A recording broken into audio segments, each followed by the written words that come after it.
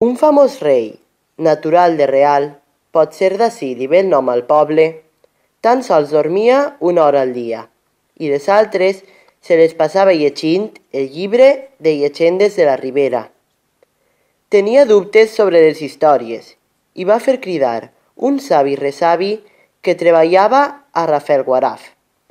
No se sap exactament si al seu casc urbà o a Riurau, Berfull, Tossal Nou o pel terme, tant s'hi val. Avisat el savi resavi per coloms missatgers, va creuar el barranc dels ofegats, a prop de la cova fumar, i va arribar a la fortalesa del rei. Immediatament, els soldats el portaren a la presència del sobirà i aquest, sense més preàmbuls, li va dir en veure'l. Dis-me quin és el secret que amaga aquest llibre o te talli el cap. Gràcies per desitjar-me un bon dia, però abans de contestar, permeteu-me que us faci una pregunta. D'acord, endavant. Fes-me aquesta pregunta, però ja. Dos homes caminen per un bosc, després d'una forta pluja. De sobte, cauen a una bassa.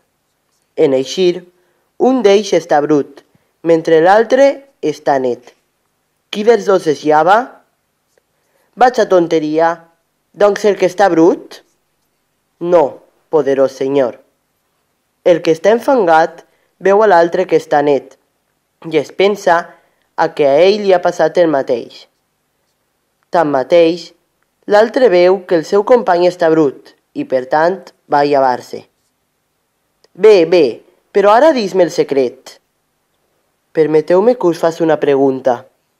Dos homes caminen per un bosc, després d'una forta pluja. De sobte, cauen a una bassa. En eixir, un d'ells està brut mentre l'altre està net. Quin dels dos es llava? Home, ara ja sé la resposta. Doncs el que estava net. No, poderós senyor. Com ja s'havien equivocat, es va llevar el que estava enfangat. L'experiència ensenya. D'acord, està bé, ho accepte, però ara dis-me el secret. Permeteu-me que us faça una última pregunta. Dos homes caminen per un bosc, després d'una forta pluja. De sobte, cauen a una bassa. En eixir, un d'ells està brut, mentre l'altre està net. Quin dels dos es llava? El rei es queda desconcertat. Ja no sé què respondre, la veritat. Amb dos poden llevar-se o cap. El vell va somriure. Si creus, senyor meu, que tres vegades es va repetir un accident tan increïble, és que estàs disposat a creure qualsevol cosa i, per tant, dona igual allò que et conteste respecte al llibre Llegendes de la Ribera. Moltes vegades ens fan triar de forma obligatòria únicament entre dues opcions sense necessitat, sense conèixer les altres possibilitats i sense una mínima informació verídica.